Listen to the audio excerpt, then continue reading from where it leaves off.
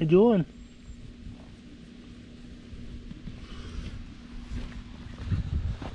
Okay, so got a new toolbox. Gonna set that up right here. It's a Craftsman five drawer toolbox. Mom, dad want to know what I want for my birthday, so that was last week. So got that. Or from Amazon, that same one that RP has, I think. So that has five drawers and one big one that can replace. Watch out, puppy doggy. I'll replace this one here. This one only has four drawers, and it's it works. It doesn't open the best, so we're gonna put that one here. Transfer some stuff from this one into that one. Maybe we'll keep this one too. We'll see how it all works out here. And you're helping, aren't you, by eating something? Okay, I got the new toolbox up here. Uh, a lot bigger than that one. I'm gonna have to move the screwdrivers over. I can scoot this thing over this way. I need to move the screwdrivers over a couple of inches. And then this thing will fit in there. Got some nice drawers. Not too heavy duty, but it's pretty heavy duty. You shut this down, then uh, this, these are locked then. But sometimes I like to have my sockets up on top, so I got a lot of sockets in this drawer right here.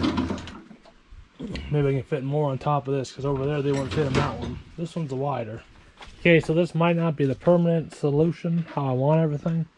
So I got some sockets up here. And some wrenches. These things are made for taking out strip bolts. Those are.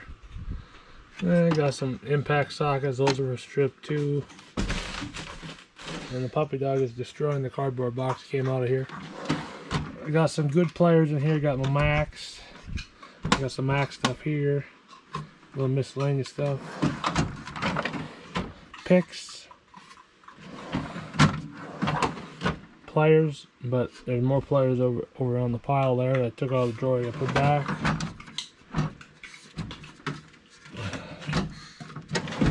Got all ratchets in here. And two torque wrenches.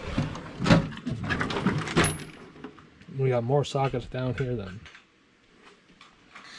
We'll see how we like that. Sockets up there, sockets down there. Went from a big box to a little box. Went from a big box to that box and that box.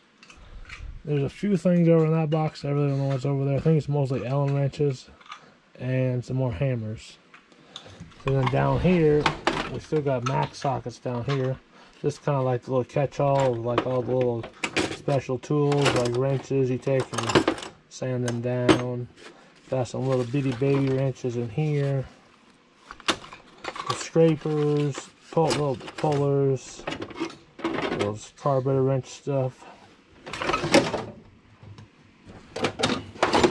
This one here, we still got all torque, all um, snap ring pliers in this drawer and oil filter wrenches. And then over here we got all files and punches. Nice that we have files in one drawer punches the other.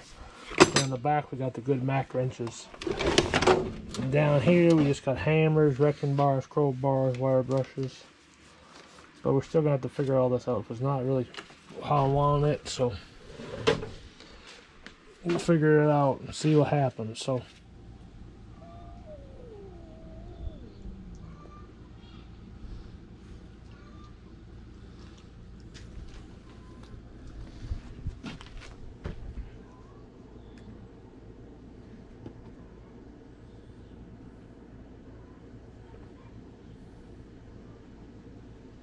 Okay, so I got the workbench finally cleaned off, toolbox organized, screwdrivers moved over, so we got some sockets up top, specialty stuff over there.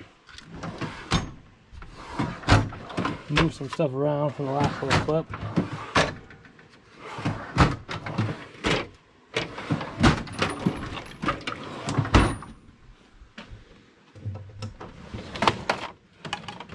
Special files and that kind of, and uh, putty knives and little screwdrivers and stuff you cut to make work.